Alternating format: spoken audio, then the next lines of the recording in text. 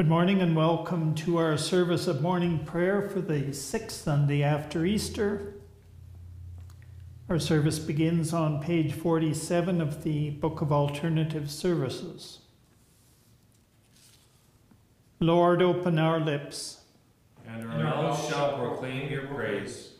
O God, make speed to save us. O Lord, make haste to help us.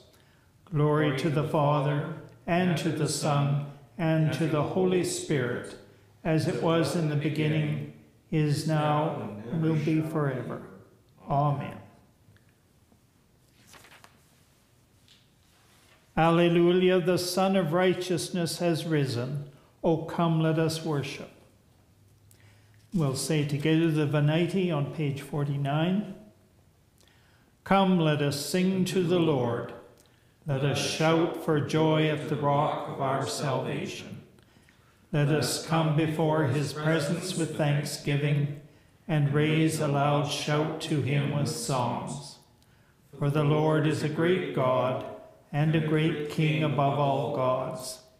In his hand are the caverns of the earth, and the heights of the hills are his also.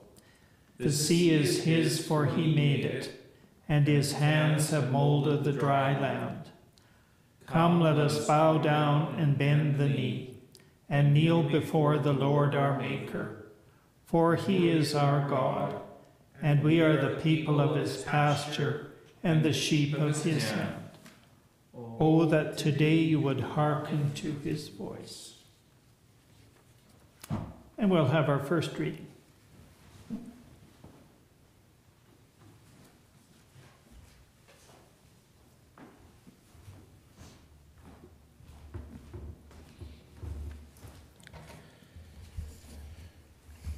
Our first reading is from the book of Acts. While Peter was still speaking, the Holy Spirit fell upon all who heard the word. The circumcised believers who had come with Peter were astounded that the gift of the Holy Spirit had been poured out even on the Gentiles.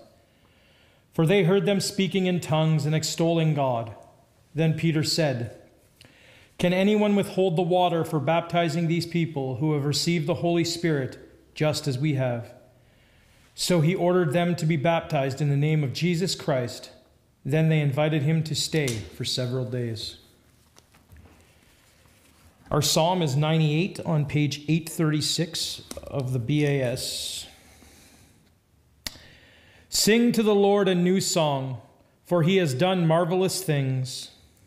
With his right hand and his holy arm has he won for himself the victory. The Lord has made known his victory. His righteousness has been he openly shown in the sight of the nations. He remembers his mercy and faithfulness to the house of Israel. And all the ends of the earth have seen the victory of our God. Shout with joy to the Lord, all you lands. Lifting up your voice, rejoice and sing. Sing to the Lord with the harp with the harp and the voice of song. With trumpets and the sound of the horn, shout with joy before the King, the Lord. Let the sea make a noise and all that is in it, the land and all those who dwell within. Let the rivers clap their hands, and let the hills ring out with joy before the Lord when he comes to judge the earth. In righteousness shall he judge the world and the peoples with equity. The second reading is from the first letter of John. Everyone who believes that Jesus is the Christ has been born of God, and everyone who loves the parent loves the child. By this we know that we love the children of God, when we love God and obey his commandments. For the love of God is this that we obey his commandments, and his commandments are not burden, burdensome. For whatever is born of God conquers the world. And this is the victory that conquers the world, our faith. Who is it that conquers the world but the one who believes that Jesus is the Son of God? This is the one who came by water and blood, Jesus Christ, not with the water only, but with the water and the blood. And the Spirit is the one that testifies, for the Spirit is the truth.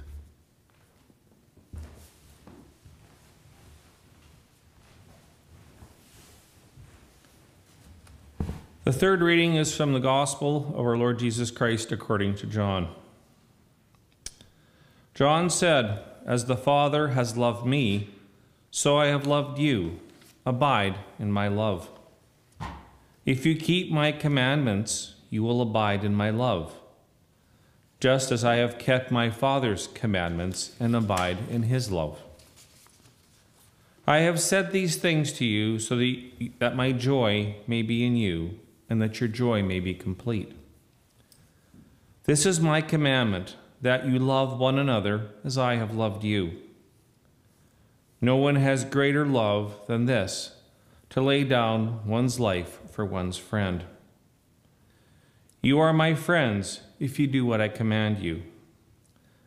I do not call you servants any longer because the servant does not know what the master is doing. But I have called you friends because I have made known to you everything that I have heard from my Father. You did not choose me, but I chose you.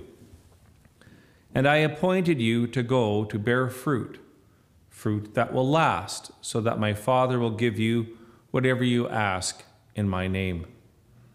I am giving you these commands so that you may love one another.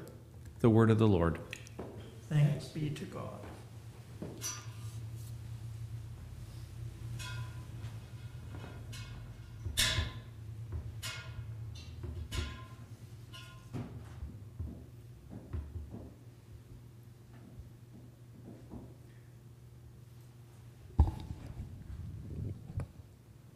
An unusually irate parishioner is said to have tackled the rector after church one Sunday morning. I'm so glad you preached a historical sermon, she said. The rector, shocked by this unusual praise, beamed thanks. The parishioner continued, Yes, because I'm sick and tired of hearing about love all the time. It must really be difficult to be a Christian, and particularly an Anglican, if one has a problem with the love thing. In fact, if that is your problem, today might be a good Sunday to use the fast forward button. Parting gifts are difficult things to receive. This is particularly so after a death. We are amazed that Uncle Stan left us that enormous Victorian chest of drawers, particularly as he knew we loved modern Scandinavian furniture. It was a shock that Aunt Maud left us the lake house to the disgust of her children, or as is the case for some, to get nothing. We are now anticipating the Feast of the Ascension Jesus was no longer to be a visible, bodily presence among those who love him. Everything was going to change, and so he left gifts. We tend to take these gifts for granted. Baptism is one of the gifts. Baptism assures us that we are God's adopted family. God has left this gift in a will or covenant an unbreakable agreement. We are his people and the sheep of his pasture, as the psalmist wrote centuries before.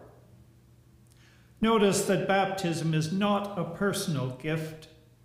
It sets us in a community called the New Israel, the body of Christ.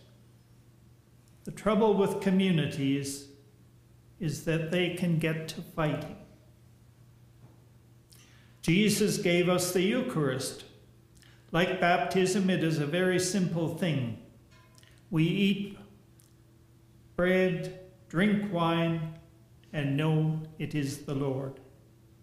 Once again, the Eucharist is not a personal thing, it is a community meal in which Jesus is made up or portrayed by the whole assembly or community. The trouble with communities is that they can get to fighting. The scriptures are God's gift to us. God speaks through the lives of the writers, and yet the community for whom the Bible is given can get to fighting.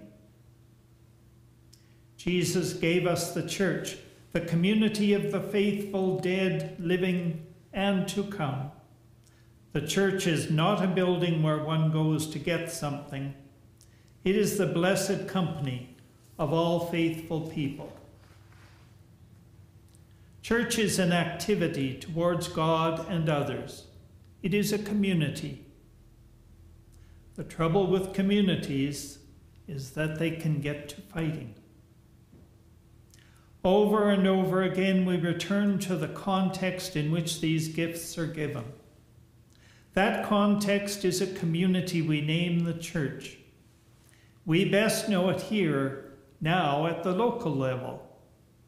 Perhaps we know something of it as a diocese, or as a national church, or even beyond to the great Anglican Communion. It would be odd if we didn't recognize that the great problem the church faces is human dysfunction. You've moved the candlesticks. I'm going to campaign to get them out where they have always been. I've worked so hard and no one has recognized me, so I'm leaving. The bishop is obstinate. If National Synod adopts this resolution, I shall refuse to worship God anymore. All the taking sides, quarrels, and sometimes nastiness that goes on suggests a radical dysfunction. Love is the ignored gift of God. The greatest gift Jesus gave us was love. He gave the gift and issued a new commandment that you should love one another. Without love, none of the other gifts is of any use. If our parish is loveless, it isn't a place of Christian worship. It's a damnable place. We have to remember what love means in the Christian vocabulary. It does not mean sentimentality it does not mean warm, fuzzy feelings. In the epistle, the writer says some very profound words. Everyone who loves is born of God, for God is love. God loved us and sent his Son to be the atoning sacrifice for our sins. That passage may mean something like this the capacity to demonstrate self sacrificial love is a sign that we have been possessed by God. God's love is shown in Jesus' death, in Jesus' selfless gift of life itself. Sin, which means living apart from God, is destroyed. Sin is the ultimate dysfunction, the ultimate way of saying, I don't need you, and if I can't have my own way, I'm going to go home and sulk. When we start to reach out to others, particularly when it is inconvenient, when it hurts, when we have to suffer for it, God is obviously at work in our lives through Jesus. C.S. Lewis wrote, Love anything, and your heart will certainly be wrung possibly be broken. The alternative to tragedy, or at least to the risk of tragedy, is damnation. The only place where you can be perfectly safe from the perturbations of love is hell. And yet, the risk of love, the tragedy that comes from love, the death of all sorts of things that can occur in love, is more than compensated when we open ourselves together to that loving peace which is given with the knowledge and love of God in Christ Jesus. It is this shared, giving, dying, rising love, which creates the church and sustains it, creates us in God's image and sustains us, and creates that good in the world which changes the worst for, for the best.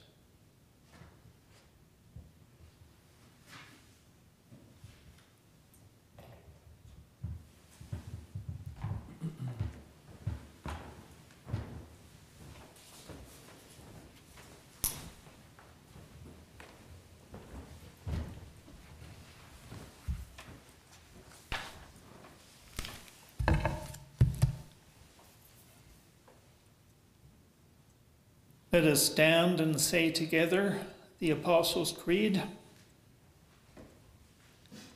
I believe in God, the Father Almighty, creator of heaven and earth. I believe in Jesus Christ, his only Son, our Lord. He was conceived by the power of the Holy Spirit and born of the Virgin Mary. He suffered under Pontius Pilate, was crucified, died, and was buried he descended to the dead. On the third day he rose again. He ascended into heaven and is seated at the right hand of the Father. He will come again to judge the living and the dead. I believe in the Holy Spirit, the Holy Catholic Church, the communion of saints, the forgiveness of sins, the resurrection of the body, and the life everlasting. Amen.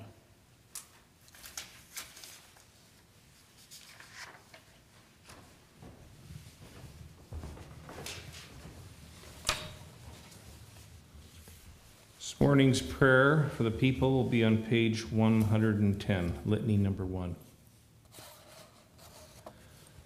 For peace from on high and for our salvation, let us pray to the Lord. Lord, have mercy. For the peace of the whole world, for the welfare of the holy church of God, and for the unity of all, let us pray to the Lord. Lord, Lord have mercy for our bishops, and for all the clergy and people. Let us pray to the Lord. Lord, Lord have mercy. For Elizabeth, our Queen, for the leaders of the nations, and for all in authority, let us pray to the Lord.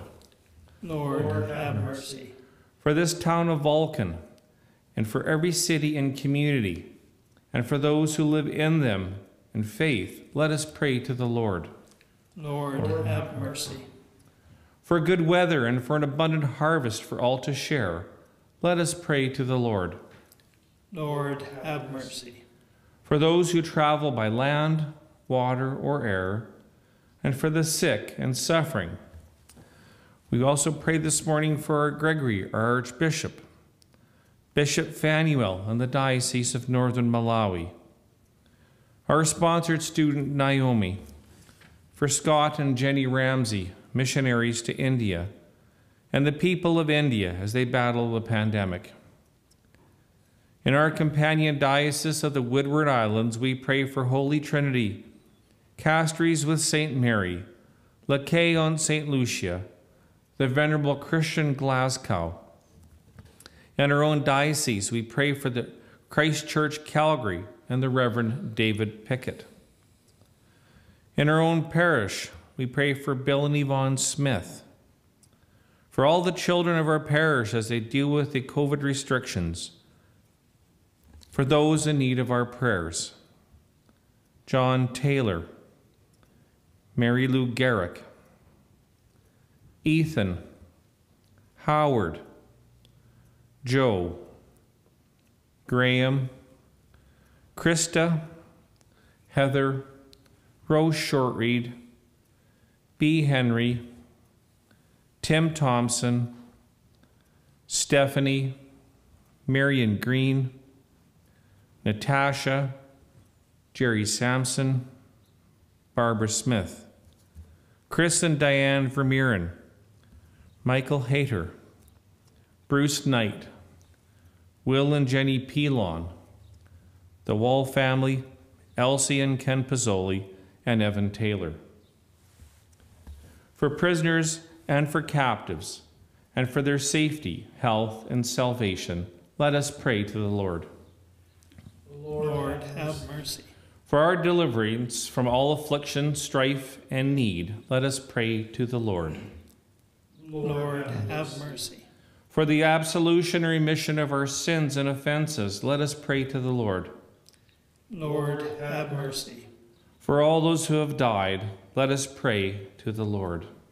Lord, have mercy. Remembering Saint Aldhelm and all the saints, we commit ourselves to one another and to our, and our whole life to Christ our God. To you, O Lord. Almighty God, you have given us grace at this time with one accord to make our common supplications to you, and you have promised through your well beloved Son that when two or three are gathered together, you will hear their requests. Fulfill now our desires and petitions as may be best for us, granting us in this world knowledge of your truth, and in the age to come eternal life. For you, Father, are good and loving, and we glorify you through your Son, Jesus Christ our Lord, and the Holy Spirit, now and forever. Amen.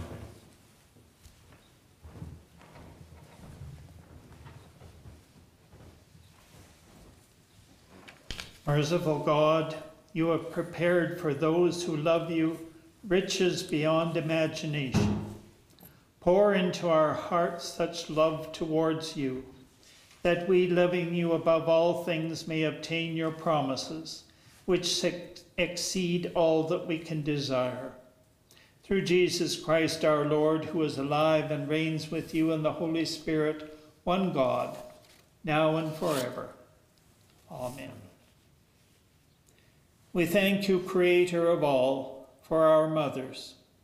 We thank you for the life she gave us and for nurturing us all those years. Thank you for the faith that she gave us, helping us to know you. Thank you for the love she taught us to share, how to sacrifice for others, for teaching us about truth. Bless her this day with the graces she needs for today. Help her to feel precious in your eyes today and know that she is deeply loved. Give her strength and courage, compassion and peace. For those of us whose mother rests with you in the heavenly city, continue to shower her with your eternal blessings, that having finished her work on earth, she may now have eternal rest in you. We ask this in the name of Him who himself had an earthly mother, Jesus Christ our Lord. Amen. Gathering our prayers and praises into one, let us pray as our Savior has taught us. Our Father, who art in heaven, hallowed be your name. Your kingdom come, your will be done, on earth as in heaven. Give us today our daily bread. Forgive us our sins as we forgive those who sin against us. Save us from the time of trial and deliver us from evil. For the kingdom, the power, and the glory are yours, now and forever. Amen. The Lord bless us and keep us. The Lord make his face shine upon us and be gracious to us. The Lord look upon us with favor and grant us peace. Amen.